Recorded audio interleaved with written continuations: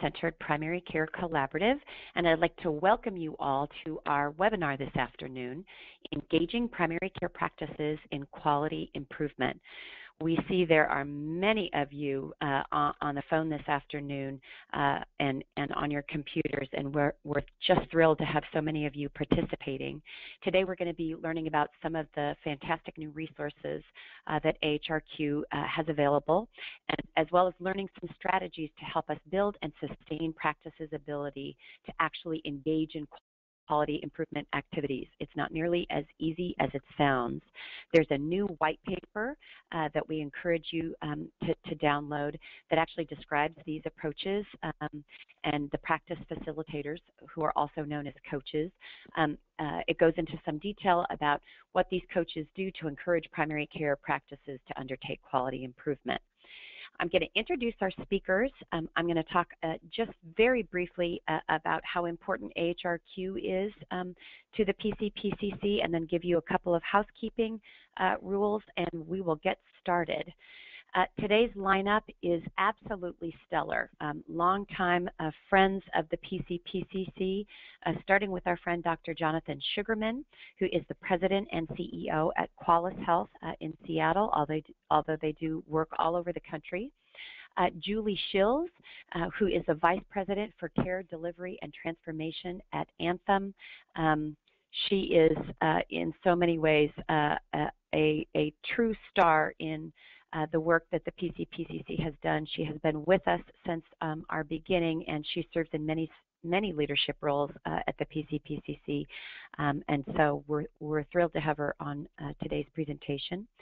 Carla Silverman who is the Director of Clinical and Training Initiatives at the Primary Care Development Corporation, also a PCPCC member, um, PCDC in, in New York, offering fantastic leadership um, in the space of practice transformation among uh, leadership just around primary care. We've got Kristen Geonnotti, um, who is a health researcher at Mathematica Policy Research. Um, Mathematica doing fantastic work um, not only with AHRQ but in several federal initiatives helping guide us as we seek to improve uh, the, the patient-centered medical home model. Uh, and last but not least, our friend Bob McNellis, uh, who's the Senior Advisor for Primary Care at the Agency for Healthcare Research and Quality. Uh, AHRQ uh, is today's star of the show. As I've mentioned, I wanted to talk a little bit about how much the PCPCC values the work that AHRQ does. They are are the leading federal agency that supports system delivery and health services research. Uh, and, and we use their resources each and every day uh, prominently display them uh, and are so grateful for all of the ways in which they are researching the area of primary care. If you haven't gone to their website to see the, the myriad kinds of um, resources and tools that they offer, uh, today is just one brief snapshot in, into some of what they do. Um, we are concerned about some of the activity happening on Capitol Hill, uh, particularly on the House side, where HRQ is uh, being proposed to be eliminated as a, as a federal agency. Um, as you might imagine, given how much we rely on uh, AHRQ, uh, we consider that to be not only detrimental uh, to the patient-centered medical home movement and primary care, but really to health system transformation uh, writ large. Uh, and so want to make sure that everybody recognizes um, that AHRQ uh, is of, of, is of great value um, and apparently um, is getting caught up in um, in some of the the policy uh, appropriations process in Congress and so uh, we certainly will be offering our support in the days to come uh, for for keeping AHRQ strong. Let's get to our uh, presentation today, and um, I ask that you use the webinar software that um, you've logged in on to, to ask questions and to provide comments. And there's a drop-down box, uh, a drop-down question box on your screen. And about the last 15 minutes or so, we'll be uh, at when our hosts are done uh, presenting, we're going to open that up for Q&A, and we've got Amy Gibson, who is our Chief Operating Officer, who will be uh, facilitating that conversation. Um, again, would just want to note this is a webinar that's got um, hundreds of people on it today, um, but we want to get uh, the word out on the terrific work that AHRQ is doing, and so this webinar will be posted to our website within the next 24 hours. So with that, I'm going to turn it over to uh, our guest speakers today uh, and thank them and thank all of you for being with us. Great, thanks, Mark.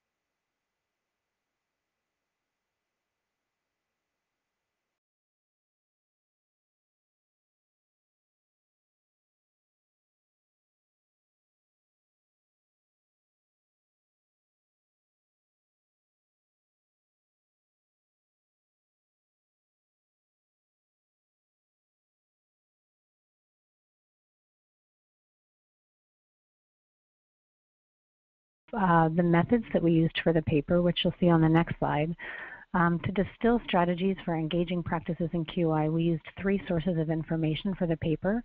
Uh, we first conducted a targeted scan of the published and unpublished literature on engaging practices, focusing in on strategies that external organizations could use to achieve practice buy-in, as well as internal factors that may make practices more or less receptive to working actively with um, these types of external support organizations.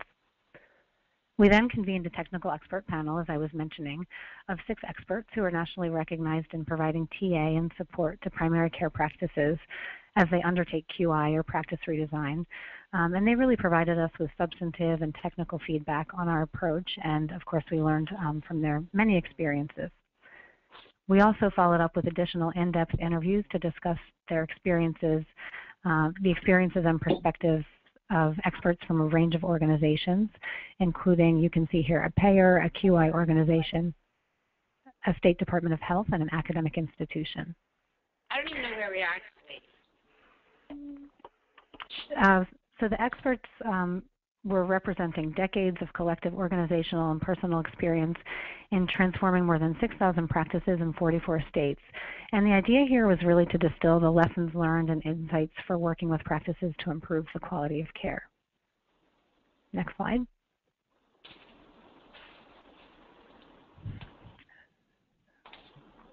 Next slide, please. So I think before attempting to engage a practice, it's important to understand the practice's readiness to engage, which we thought about as comprised of two components. The first one being willingness to change, and then the second being organizational stability and resources. And I think um, together these concepts could, can describe a practice's readiness to engage, which can help a facilitator determine whether it's an appropriate time to, to work with a practice. And if so, if it is an appropriate time, can allow a practice facilitator to tailor the approach in a way that best meets their needs. So here we define willingness to change. Great, thanks.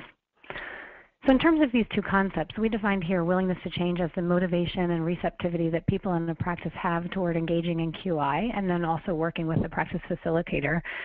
Um, so this can be thought of as a practice's commitment to change. And then the second concept is organizational stability and resources. Um, so this involves the presence of practice leadership, adequate financial and other resources, including time, uh, culture with a positive attitude toward change, and then the absence of a disruptive level of organizational stress. Muted.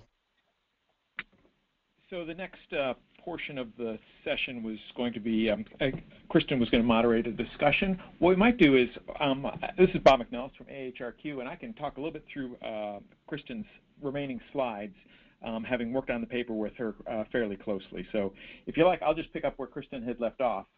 Um, to, that to would be perfect. Thanks, Bob. Oh, sure.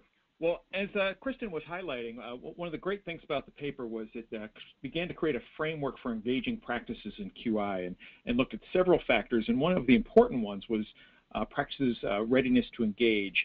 And um, there were two components to that readiness to engage. And I think other um, organizations that have done this kind of work um, have looked at this in other ways as well. But, but the first had to do with the, the willingness to change. Does the practice have the motivation and the receptivity um, to engage in QI and, to, and more importantly, to work with a practice facilitator to do that?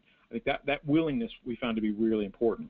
The second one, though, was just as important. It was almost the bar by which practices had to um, uh, meet before they could even think about changing, and that was um, the organizational stability and resources of the practice. For practices that are poorly resourced or have a lot of turnover um, or a lack of leadership, it's really difficult to have them engage in QI and with practice facilitation, having external people come in. So if we go to the next slide, um, the next slide talks a little bit about, forgive my shuffling of papers here.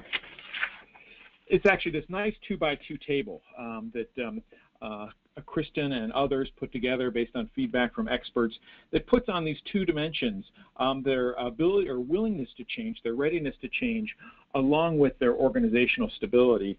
And you have to have both of those components ideally to really be receptive to that kind of uh, readiness to engage with a practice facilitator. And you see that highlighted in the, the green square in the upper right quadrant there is practices that both have the willingness uh, they want to make changes, want to engage in uh, quality improvement, as well as have the resources to be able to do that. So next slide, please. So with that is sort of basic introduction to the paper, I think the most important part of what we're going to hear today is, is really the, are the discussion with panelists who are doing this kind of work and really informed uh, the work in the paper itself. So um, Marci had the um, uh, thoughtfulness to uh, introduce our panelists already. I'll just remind you who they are, uh, and then we'll begin the discussion. So uh, next slide, please, Marcos. First, you've already met uh, Jonathan uh, Sugarman, who's President and CEO of Qualis Health. Thanks again for being here, Jonathan. Next slide. shows us the smiling face of Julie Schilz. Julie, welcome. Uh, she's Vice President for Care Delivery Transformation at Anthem. Thanks again for being here, Julie. And one more slide, next slide, is Carla Silverman. And Carla is the Director of Clinical and Training Initiatives at the Primary Care Development Corporation. Carla, thank you also for being here today. So let's go ahead and start off with uh, the discussion. Carla, I'm going to send the first question out to you. Um, and that is, uh, what are some of the most important factors that shape a practice's capacity to engage in QI?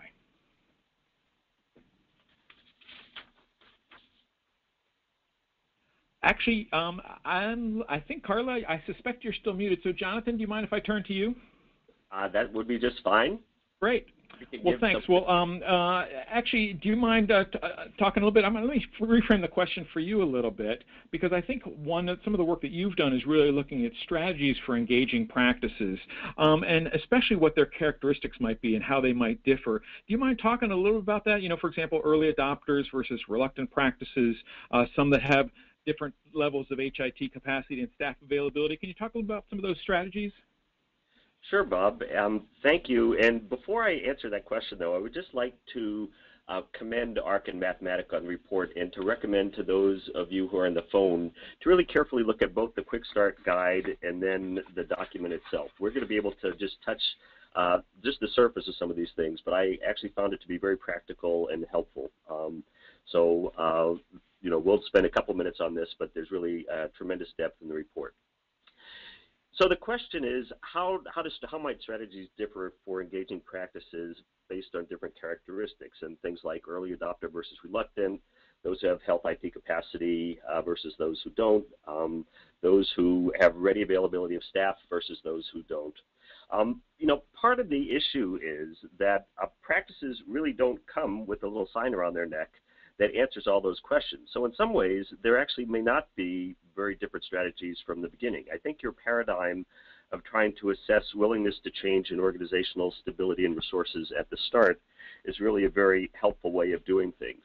Um, now, it's certainly the case that although the fundamental elements of engaging practice don't necessarily differ by the practice characteristics, the cadence does, the level of effort required to get things moving often does. Um, and a lot of this actually depends not so much on the characteristics of the practice, although those can be important, but in the context. So for instance, um, practices that have gone out to try and uh, uh, identify a facilitator to help with some specific quality improvement initiative or patient-centered medical home transformation project and are highly engaged um, are not actually terribly difficult to get started with. Um, there's actually a nice little note in the paper you quoted uh, Bruce Bagley when he was with TransforMED saying that our niche is um, to feed hungry fish, and that's often a lot more fun than other circumstances. That's one end of the continuum. The other end of the continuum, though, is when a practice has kind of been uh, identified as being a candidate for coaching or practice facilitation, um, often by an external entity. It can be a government agency or a health plan or something like that um, or uh, as commonly um, the kind of central office, uh, somebody who's affiliated with a large network, but there's no either proximal reward for participation or negative consequence for not. So there's obviously a huge continuum. So I would say that really the first uh, step to engaging practices is to identify where in that continuum there are. Now, where in that continuum the practice is. Now that said, um, there are certainly different opportunities that one has in a practice that has advanced uh, information technology capacity and easily can uh, use registries, identify its population. Um, that's one set of opportunities for a practice facilitator to start working with a practice.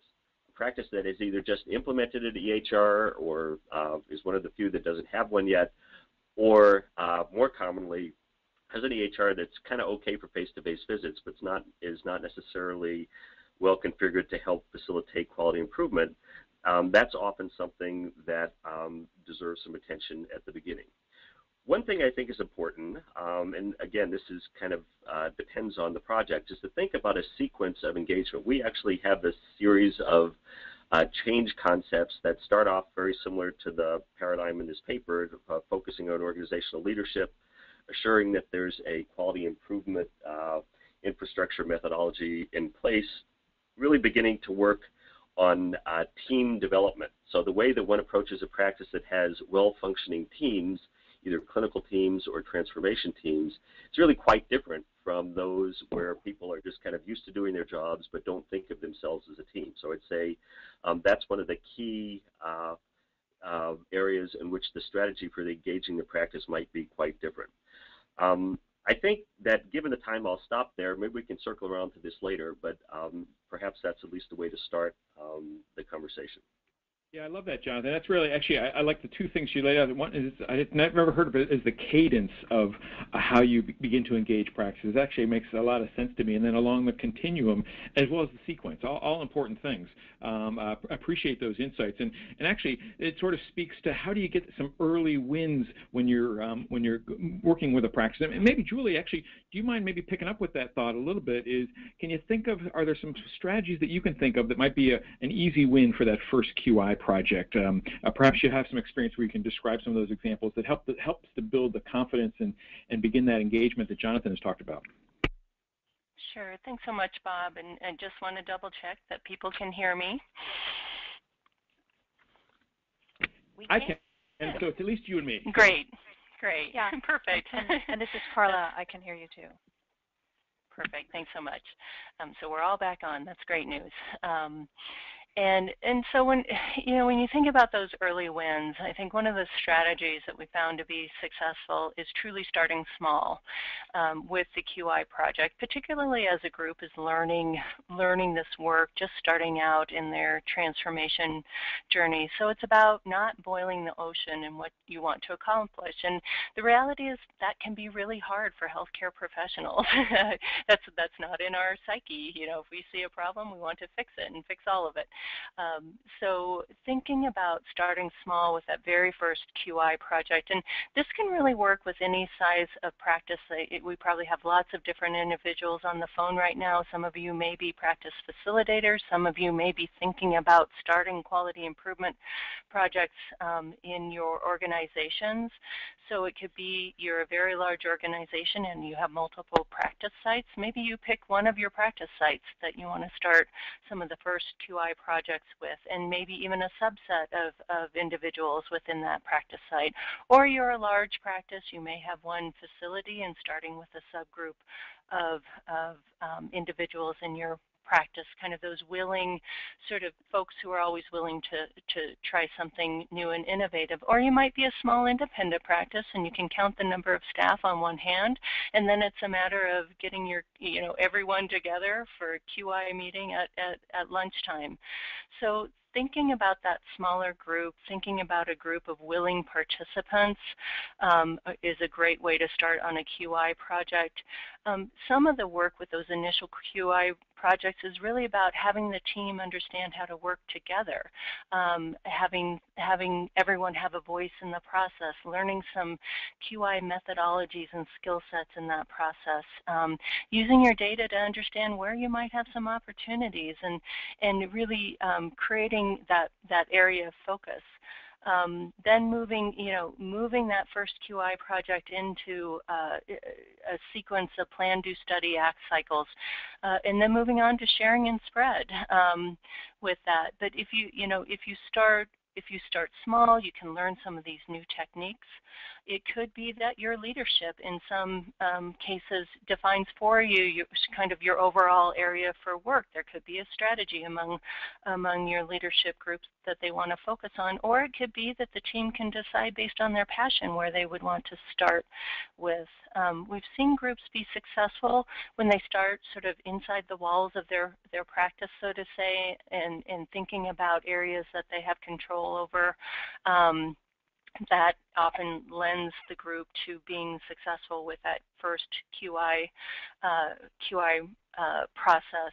And you know, really quickly, just giving a use case example. I'm thinking about an organization. This was a practice that had um, three physicians and two nurse practitioners, so a very large, independent one, one site uh, practice. And they knew from their data that they wanted to work on diabetes.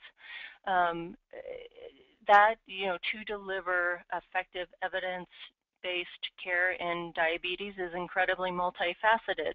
So they dialed it back to a component of delivering effective diabetes care. And so what they decided to do is start with pre-visit planning. So even within pre-visit planning, um, the work around uh, working with your diabetic patients can be multifaceted. So then they even moved it down a little bit smaller into thinking about, okay, um, we want to make sure that our diabetics in our practice have their hemoglobin A1C done before they come in for a visit. So where they started with is looking every day for a week um, at who was coming in and their diabetic patients and looking into the EHR and deciding, gosh, has the hemoglobin A1C been done? So that was a, a, a first place to start to get their process to know that they always consistently knew the diabetics were coming in and knew that they had a hemoglobin A1C. So they started there and then they expanded. The next step they wanted to do is making sure they had a tobacco ask. The next thing they wanted to do is make sure they had the connections right as, as their patients were in the practice. And lastly, they started working on their care management and care coordination. So you can start small and get to that greater picture that you want to achieve and, and it, it's still okay. Um, but just to, to create that win and have a successful first project really sets up um, anyone for the next step and ongoing success. Thanks, Julie. This is Kristen Thank you. again. I'm going to hand it back to Kristen now. Kristen, I'll let you uh, manage the, the Q&A here. Great. Thanks, Bob. Can you hear me okay? Yeah. Sure can. Great. Thanks for bearing with me with the technical difficulties. So thanks, Julie. That was great. And two things that I heard you mention early on were um, thinking about having the leadership and the passion. And I think that's a nice segue to get back to the initial question that we were um, going to discuss with Carla. And so I'd like to just go back to that first question and um, ask Carla about a practice's capacity for engaging in these initiatives. And so I'm wondering if, Carla, you could describe for us some of the most important factors that you see as shaping a practice's capacity to engage in QI. Um, so I think the first most, most important factor that shapes a practice's capacity to engage in QI work is, as, as everyone has already said, that leadership is engaged. And I, I want to reference the, the statement that Jonathan Sugarman makes um, in the report that where he says will and desire are not enough. And I couldn't agree with that more. Um, you know, what you really need is leadership that actually is leading and is providing resources and can really help follow through on the project work. And you want leadership to understand the bigger purpose of the project and their, one of their main roles is to make the connection for their staff about how the QI work relates to the bigger picture mission and strategy of the organization. And engaged leadership also means that they're able to assign a capable project lead and uh, provide protected time for staff to hold meetings, to do the work, and it may mean providing money to support taking staff off the floor from seeing patients or for things like IT upgrades, or possibly for training for staff to learn new ways of delivering care. Uh, the second most important factor, I would say, in terms of a capacity's ability to engage in QI is that the culture of the organization is one that respects and values the views and input of all their staff. Um, one of the foundational ways that PCDC works with clients is that we recommend that they assemble a project team that includes clinical staff and administrative staff, and that includes staff with different levels of authority. Uh, for example, we might suggest that they have a doctor and a nurse or a medical assistant, as well as a center director and a front desk person. Um, and depending on the project, we might also suggest an IT person. Um, many organizations have a tendency to make changes by assembling a management group alone, and this is really not the way we recommend proceeding. Um, changes that are being dictated from the top down alone often have a way of not being sustained or fully adapted because staff are not bought in or the changes don't really make sense since they were made without the input from the on the ground staff about uh, what processes are, are really happening. Um, so we really feel that working with organizations that already believe that um, insight or uh, the solution to a problem can come from anyone in the organization makes change significantly easier. Um, that being said, I will say that we also find it essential to have a clinical champion, preferably an MD on board uh, for QI work. Um, this one I would say is it's easy to overlook or not press for. Uh, I myself have had the experience of um, scheduling project meetings, talking to the project lead, um, getting to the project meeting and finding out that the doctor's not there. And when you uh, sort of dig a little deeper, you find out that nobody blocked the doctor's schedule.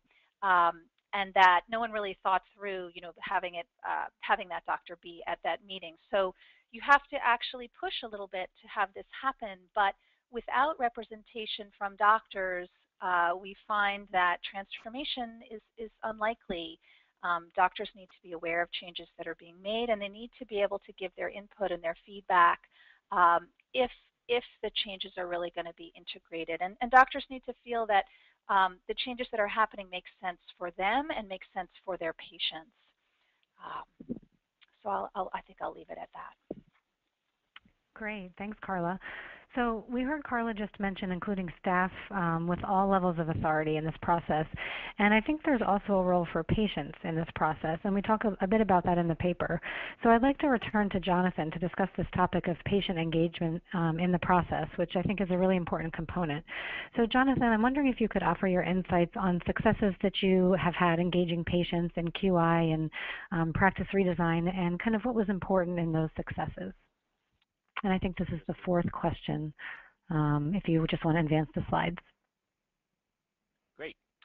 So I guess first I have to say that while facilitators can engage practices, um, it's really essentially always the case that it's the practices themselves that engage patients. So um, when you ask what successes have we had, really it's successes in working with the practices to get them uh, uh, the resources they need to kind of meaningfully engage patients. Now that may be obvious, but it's kind of important um, because the really the role of the external facilitator is focused on supporting and encouraging practices to be open to patient engagement in their QI or transformation work. Um, and honestly, in our experience, that's often a long-term effort that requires significant uh, uh, time to really kind of get uh, for practices to kind of be ready for that. Um, now, so so it typically starts you know lots of practices think that, that that patient engagement means getting patient experience or satisfaction survey. That's obviously a pretty low bar. It's not what most people mean by engaging patients in quality improvement. Um, one often hears, um, particularly from advocates for patient engagement, um, that one should involve or engage patients in quality improvement initiatives from the beginning, as soon as you start off. Um, and I, I, will say that we've often heard practices who have done it at some point say they wish they had done it sooner. I will say, and this may be a little bit politically incorrect, um, my sense is that practices um, that are going to be successful engaging patients actually have to have a few things in place before moving forward. Um, Carla just mentioned, for instance, uh, PCDC's and many others' belief that it's important to have a team that's not just a management team that includes frontline staff. That's often a first step. You really have to have a functioning team, a well-functioning team, in order to be able to uh, invite patients to participate in that team in those processes. So a practice um, hasn't had some success in making some type of improvement or change, it's not clear that just bringing patients to the table will magically make that happen. So Julie talked about kind of the easy wins. It's nice to have some of those so people feel confident that things can change. Um, there are all kinds of issues that people bring up ranging from HIPAA to they can't possibly uh, understand the complexity of practice. Um, so one has to kind of work through those things. Um, it's a it's a uh, a process to get many uh, practices at least to um, really want to bring um, some of their uh, patients and customers into the activity. That said, um, we've often seen uh, that meaningful patient involvement in QI or transformation activities um, really can serve as a tremendous catalyst for progress and transformation. Uh, just an example, over the past couple of years, we've had the opportunity to work with about 20 um, practices affiliated with Harvard Medical School in something, uh, a project known as the Academic Innovations Collaborative that's sponsored by the Harvard Medical School Center for Primary Care. Um, it's a whole range of different practices from large, uh, complex internal medicine practices at um, academic medical centers to affiliated community health centers. Um, some of them actually started off with some kind of patient engagements. I'll tell you a story about that in a second. Um, but it's one of the things that's happened over the past few years is that the vast majority of those um, practices have now brought them in um, and uh, believe that it's really materially helped them to um, understand uh, what parts of their uh, process, the experience that patients have really can get improved. Uh, it's helped them to um, understand uh, things that are not obvious from the inside um, but are uh, either barriers or facilitators to patients. And so it's been quite helpful. So one, I'd say people are looking for a good example of this and, and want to learn about how to engage patients, um, an organization like the Cambridge Health Alliance is really terrific example. Now, um, they've been doing this work for years. That um, They actually have been a leader in this collaborative I just talked about, and their model has been adopted by others.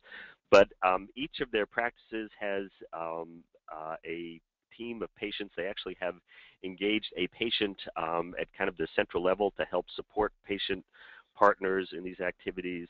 Um, that's one thing I think practices need to know is you can't just kind of uh, bring them to the table um, and expect them to understand the process. You really need to have a fair amount of support, um, being clear about expectations um, and uh, uh, things that patients uh, can say and do. Um, uh, so that's something I think that it's it's more than just inviting someone in. You really have to nurture and support patients once they're there. Um, the uh, other thing I think is important is that the practices need to recognize that simply having a patient there in a token or symbolic role, and after all the work has been done, turning to the patient saying, what do you think of that, is really nowhere near as effective um, as having uh, the right person help choose the topics, help uh, um, as the process is moving forward, really have uh, a meaningful uh, participatory role in conversations and discussions.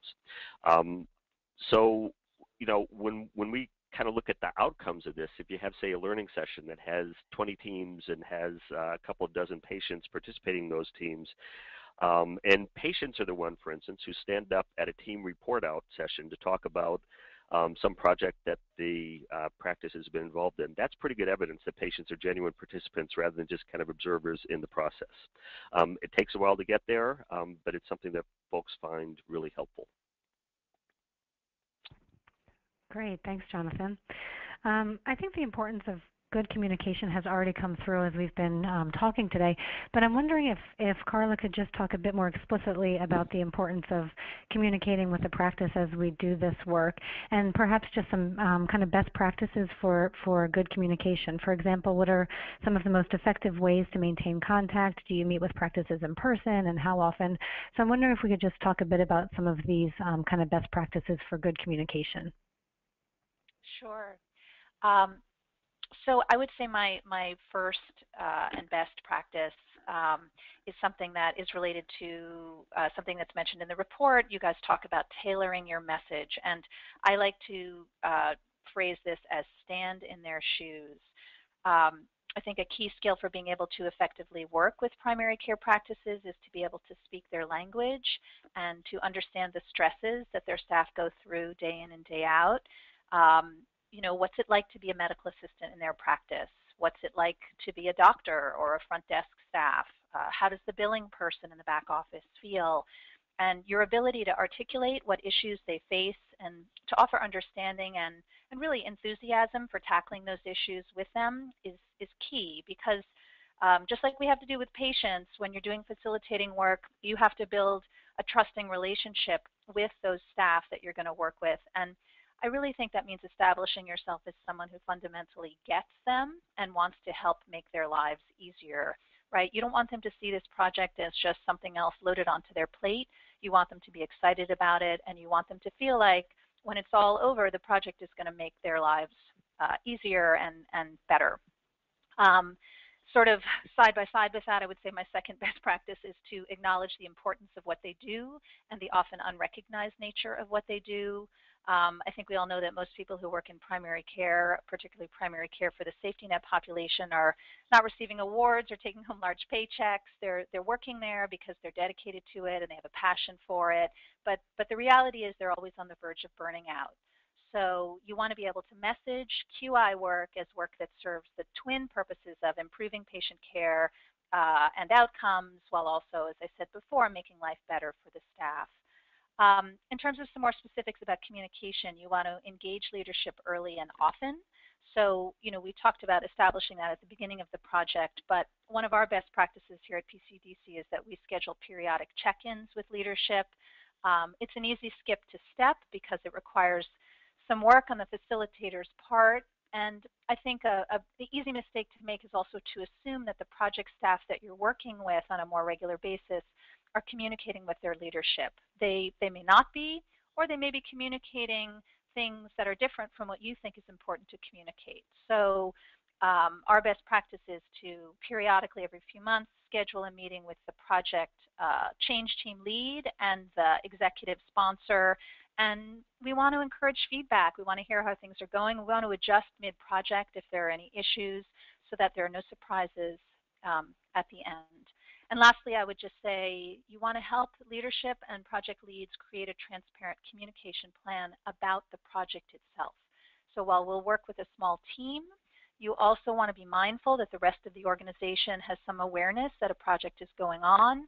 You want to make a plan about how much information to share and when. Um, you don't want people to feel left out. On the other hand, you don't want to share too early and invite lots of questions before the work has happened.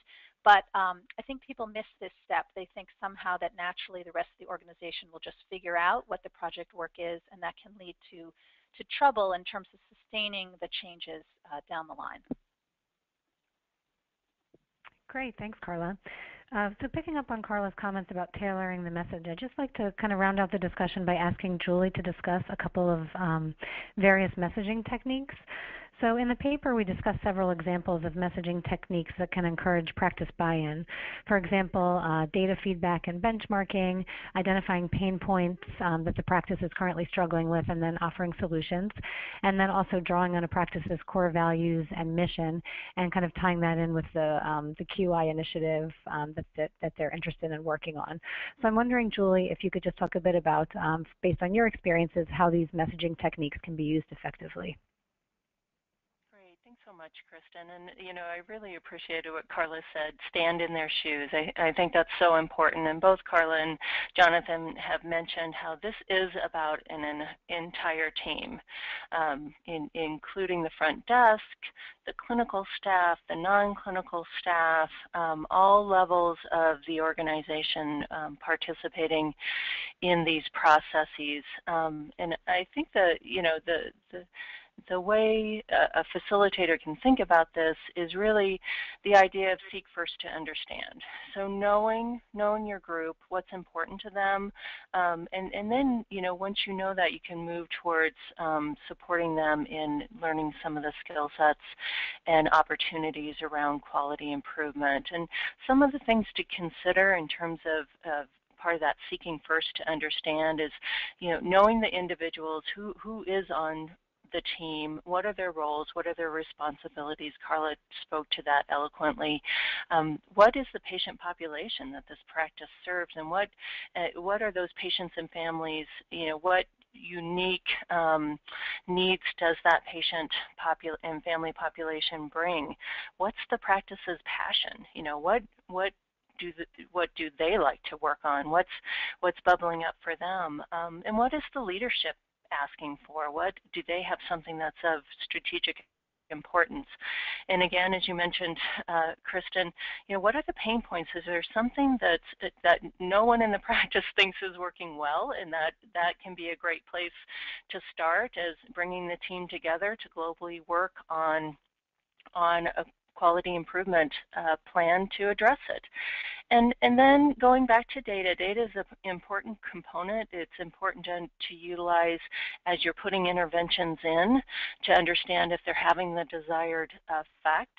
And, and so what does your data say about where some of your opportunities might lie? So I know, you know, that this is, this is systems work. So what I just said was a mouthful. It's a lot of different components. And, and, and the, other, the other reality of this work and, and being a facilitator is you know you need to understand which messaging works um, for what what um, individual in an organization. How you describe the work to a CFO is different than perhaps a CMO. That's different than an office manager for a very specific site. That's different um, than the physician at that site or a nurse practitioner or the front desk person.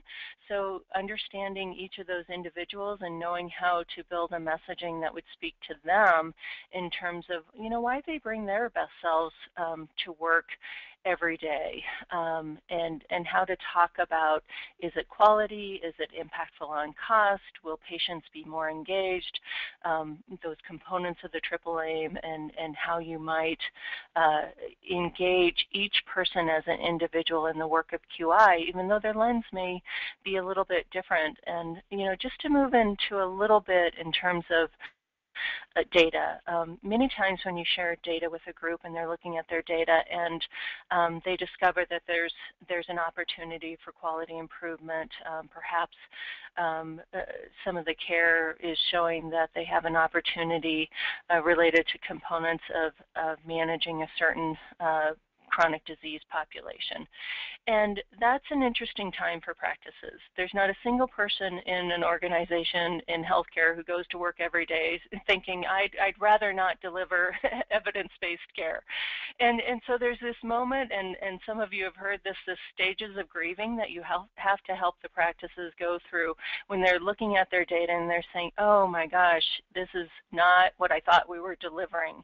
And help them work through that and develop the passion into you know that energy of okay, this isn't what I want to see. Um, this not this isn't what we want to strive to achieve. So let's work together as a team and let's start to define that, that quality improve, improvement project that we can start to to change what these numbers are, are telling us right now. Great, thanks, Julie.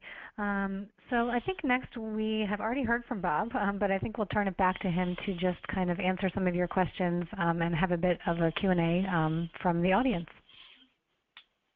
Thanks, Kristen, and uh, thanks, panelists. Uh, what, a, what a great session. Um, I appreciate uh, all the depth of knowledge and experience that we're hearing from today. And what I just want to ask the audience is uh, be sure to send in your questions. Uh, we've uh, queued up a few, but uh, we'd like to hear more about what you'd like to hear from our esteemed panelists today. And actually, I'm going to start with one that is um, uh, moderator's prerogative here about something I'm interested in. That's about building trusted relationships in particular. Um, you know, relationships are everything when it comes to this kind of work, I think. And I always reflect on sort of Jim Mold's um, uh, reflection that the practice facility know they're, they've made it, they're trusted when they go in the back door of the practice. So I'd like to hear from all the panelists a little bit about building those relationships. Um, you know, how can you begin to build those relationships and uh, the relationship with the community? Anybody want to jump in first?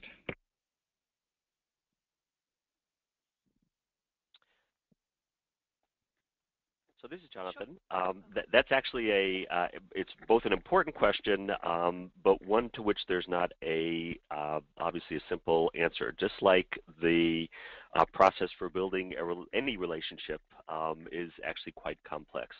Um, we've actually heard several of, of the, the tactics, I guess, described already in this. Um, it really is uh, listening more than talking to start off with. Um, that's sometimes difficult in the uh, context of initiative where an external facilitator has a task to get done.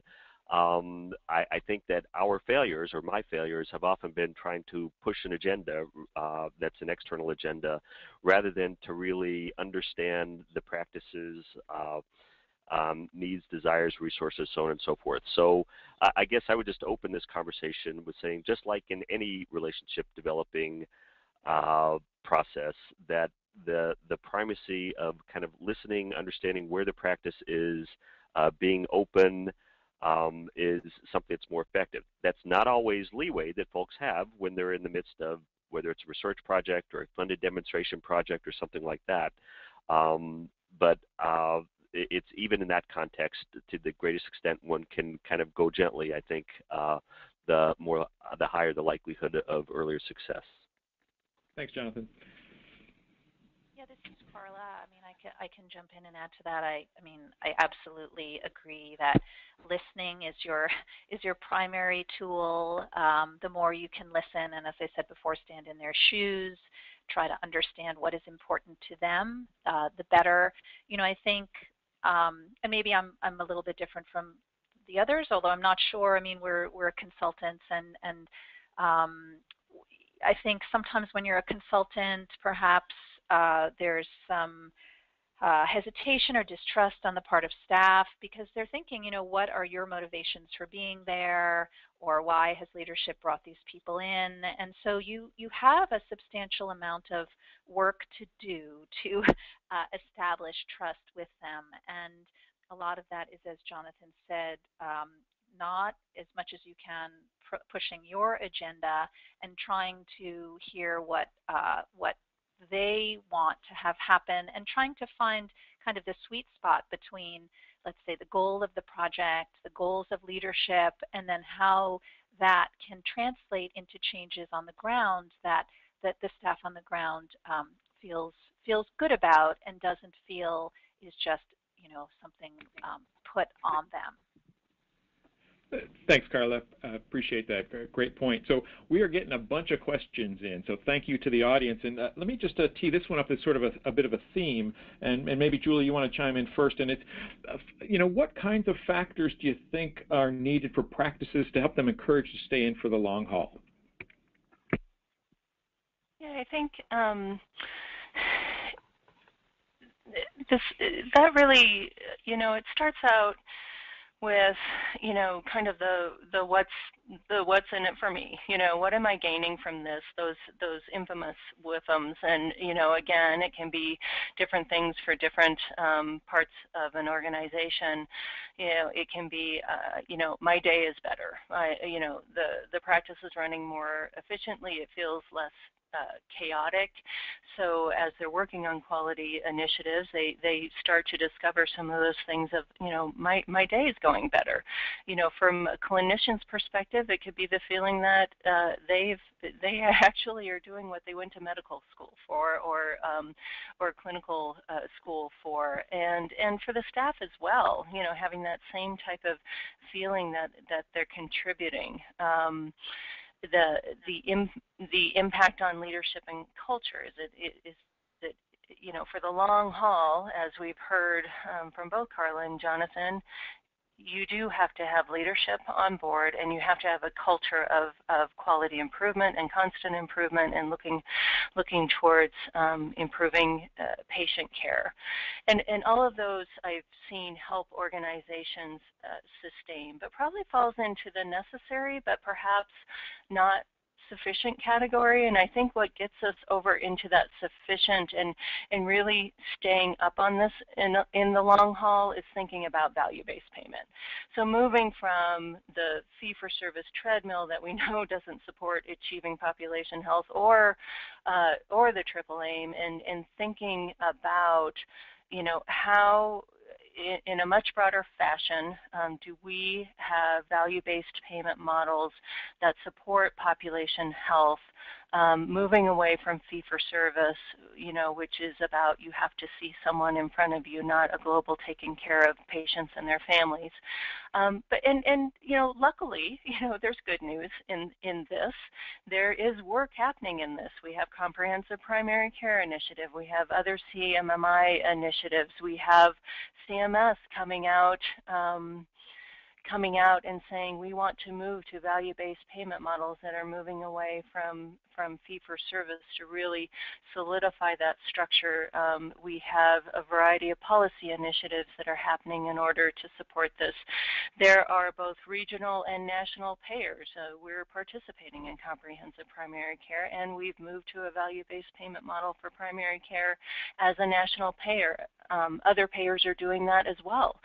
So all of these, you know, I, I think, you know, you can't have this conversation without saying that appropriate value-based payment um, that reach, reaches a significant penetration of patients within a practice really helps you move from that uh, uh, necessary to the sufficient um, ability to maintain the systems you've created to deliver patient care.